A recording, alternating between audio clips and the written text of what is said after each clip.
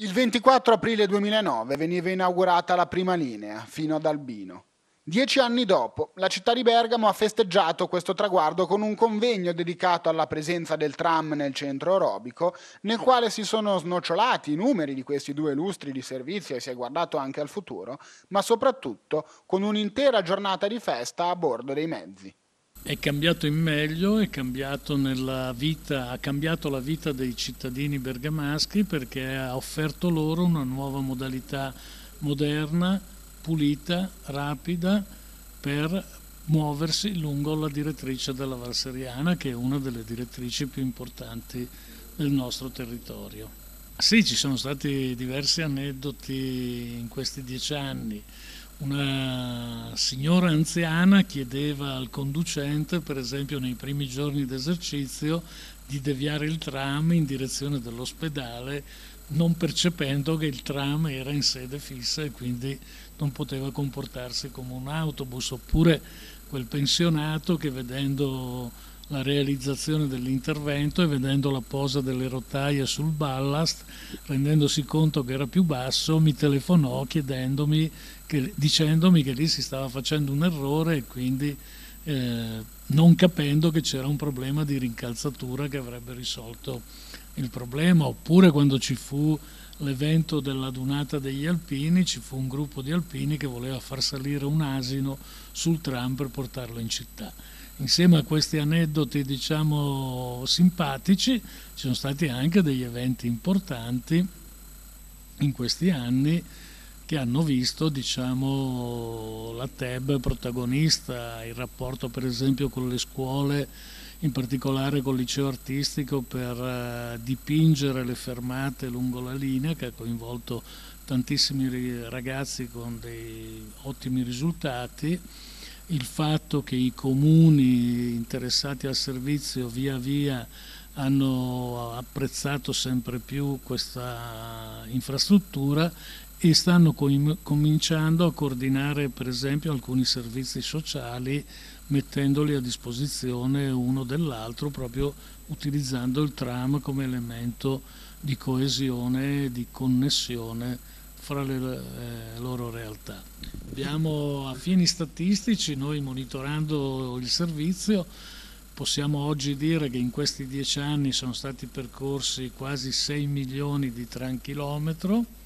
da parte dei 14 tram eh, a nostra disposizione e sono state trasportate più di 33 milioni di passeggeri nel corso di questi dieci anni. Il tram ha dato un contributo fondamentale a tutto il sistema della mobilità che Tebe e ATB gestiscono nell'area eh, metropolitana di Bergamo. Gli scenari della mobilità del futuro nelle valli bergamasche vedono al centro il tram, infrastruttura accessibile, sostenibile, utile, integrata, connessa e generatrice di valore patrimoniale, sociale e di sviluppo urbanistico territoriale. Il prossimo passo vedrà la nascita di una nuova linea fino a Villa Dalmè. Ecco, siamo proprio in una fase di ideazione di nuovi progetti, di nuove linee, in particolare abbiamo presentato al Ministero dei Trasporti alla scadenza del 31 dicembre del 2018 il progetto di fattibilità tecnico-economica per la seconda linea, cioè quella per la Val Brembana, altri 11 km e mezzo di linea, altre 17 fermate in modo da integrare entrambe le valli con l'area metropolitana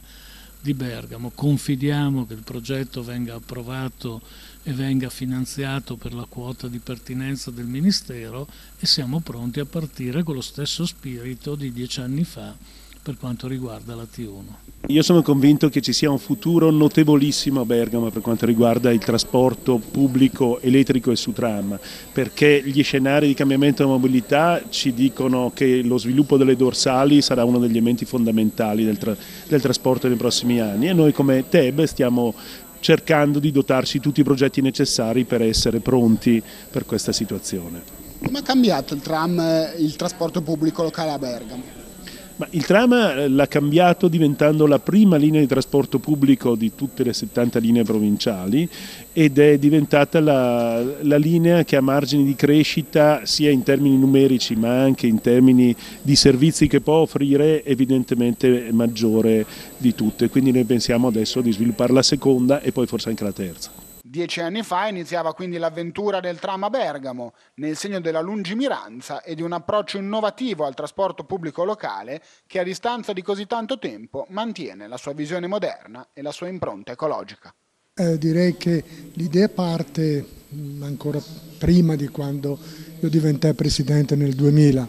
Eh, partì con l'amministrazione provinciale del, del, di cui ero presidente, partì con l'impegno della della, della Regione Lombardia e eh, dovemmo eh, dare, diamo merito al sindaco allora di Bergamo Veneziani, al Presidente della provincia Bettoni di avere con coraggio affrontato questa novità che era non solo una novità per Bergamo ma anche una novità per la Regione Lombardia. E da, quello, da quell'iniziativa partì eh, tutto l'iter che è favorito anche da una legge la legge del 211 del, del 2002 che, che dava la possibilità di finanziare opere di questa natura. Senta, oggi, dieci anni dopo, la terza linea secondo lei è un sogno o è una possibilità concreta? Ma io direi che la terza linea deve essere assolutamente fatta e vedo con grande piacere, con grande direi, entusiasmo che eh,